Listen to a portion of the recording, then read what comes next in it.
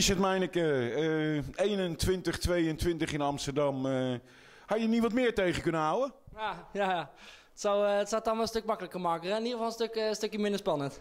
Nou ja, het is natuurlijk een geintje, want je hebt uh, fantastisch aan keeper. Mijn complimenten. Je hebt er uh, echt uh, nou, 100% kansen van de tegenstander. Een stuk of drie, vier heb je dit tegengehouden. Vond je een lekkere wedstrijd? Ja, achteraf is, is het misschien echt heel makkelijk zeggen van... nou jongens, dit was een lekkere wedstrijd, want je wint. Maar ja, het, is wel, het was wel echt een lastige wedstrijd hoor. En ja, nou ja, natuurlijk is, is het lekker. Het is wel lekker om, om met elkaar zo'n zo'n prestatie neer te zetten. Ja, want het was wel knokken. Hè? En dat, jullie hebben laten zien dat jullie dat in elk geval kunnen. Nou, wat ik, ja, het is uiteraard is het knokken. Tot aan, tot aan, uh, de, tot aan de 60 punten vol. Maar wat, wat, wat, uh, wat vooral vandaag heel erg opviel, is dat we, dat we toch redelijk dik achter stonden. En dat we ook onze kopjes hadden kunnen laten hangen. En het helemaal het ding aan een zijde draadje, zeg maar. Maar we, we zijn toch blijven, blijven, blijven knokken. En dat is, uh, dat is zeer, zeker, zeer zeker een heel positief punt. Ja, gewoon geloven in jezelf. Hè? En dan, dan, komt het, dan komt het allemaal wel. Uh, ja, waar gaat dit stoppen? volgende week hurry up. Vijf wedstrijden, tien punten.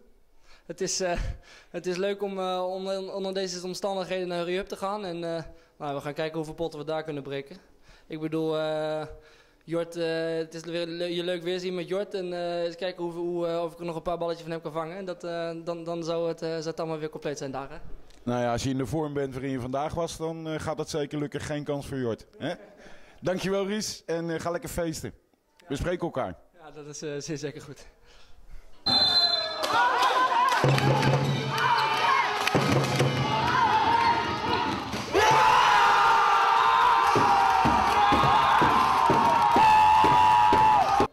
Proost Hans. Waar is er aan de hand?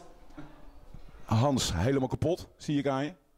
Ja, gesloopt. Ik bedoel, dit, dit was wel weer een wedstrijd die uh, de analen in kunnen van de, de klassieke, zoals ik begrepen heb. Maar uh, ja, je wint met uh, in de laatste drie seconden gooi de, gooi de winnende in. En wat er allemaal gebeurd is de hele wedstrijd, dat was er weer één. En ja, ik ben helemaal kapot. Ja, ik had me helemaal voorstellen. Ik ook trouwens. Mijn stem heb ik ook bijna niet meer. Ja, 21-22 hier in Amsterdam bij uh, Aristos. Je zegt het al in de laatste secondes. Jullie hebben het er wel op aan laten komen. Dat is misschien een beetje jammer. Ja, zo als ik nu moet relativeren, dat is natuurlijk lastig als je uit net wint met één. Maar ik vond het niet. ik denk dat we beter kunnen. Met name aanvallend gezien. Dekking krijg je 21 tegen. Dat is prima. Er stond een hele goede keeper achter vandaag. Uh, maar we, we, hebben, we kunnen beter. En uh, we stonden op een gegeven moment in de tweede helft 6 achter. En als je dan op het laatste moment gewoon nog langs zij komt. En op een gegeven moment stoor je weer voor de laatste paar minuten. Ja, dan moet je gewoon heel veel respect hebben voor de ploeg, voor de veerkracht. En iedereen heeft zijn steentje bijgedragen. Dus daar zijn we heel blij om. Ja, knokken kunnen ze. Dat hebben ze laten zien inderdaad, deze wedstrijd.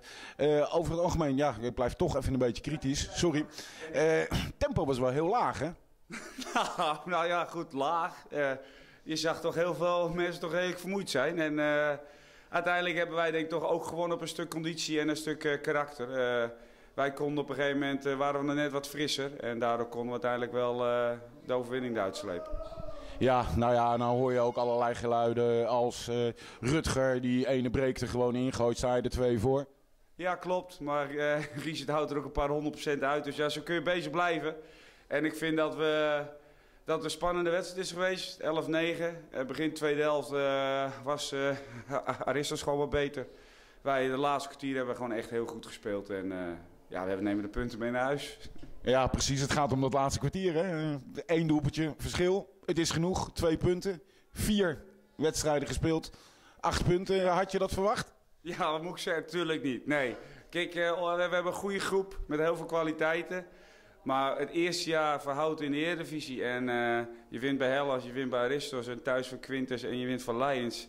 Dat had ik van tevoren niet verwacht. Daar hoop je alleen maar op. Het is een soort droom en uh, die moeten we gewoon volhouden. En we gaan nu echt genieten. Volgende week hebben we een hele lange uitwedstrijd. Maar goed, dat zien we dan wel weer. Nou ja, ik zou zo zeggen, vijf wedstrijden, tien punten na volgende week. Daar gaan we altijd voor. We zijn nergens kansloos, dat hebben we gezien. Het is een uh, competitie dat dicht bij elkaar zit. Dus dit soort punten zijn wel erg belangrijk. Eh, volgende week knallen we weer op. Oké okay, Hans, dankjewel. Ga lekker feesten. Proost nog een keer. Ja, en uh, we spreken elkaar dit seizoen wel. Tuurlijk. De supporters, uh, volgens mij waren wij in de meerderheid in Houten. En dat vond ik echt fantastisch. Dat was echt het publiek zweept ons ook de laatste kwartier de jongens erop. En dat, daar zijn we zo blij mee. Dus dat, hartstikke bedankt. Nou, mooi complimentje. Nou ja, goed. En we hebben vandaag gezien wie de baas is in Amsterdam. Hè? Ja, dat klopt. Doei, doei.